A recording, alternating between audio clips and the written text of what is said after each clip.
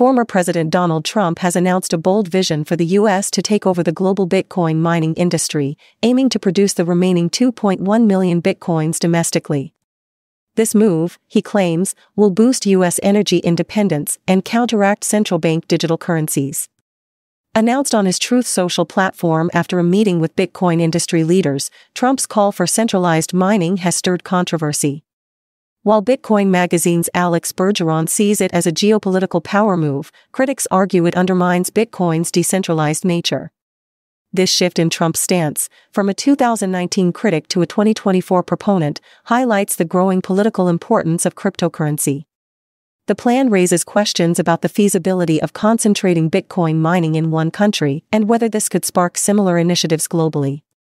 Despite the divided opinions, Trump's proposal underscores the increasing overlap between politics and crypto. As the 2024 election looms, his crypto friendly stance could sway Bitcoin enthusiasts, though many in the industry advocate for a neutral, apolitical approach. The broader implications of Trump's plan remain to be seen, with the crypto community debating the balance between political support and maintaining decentralization.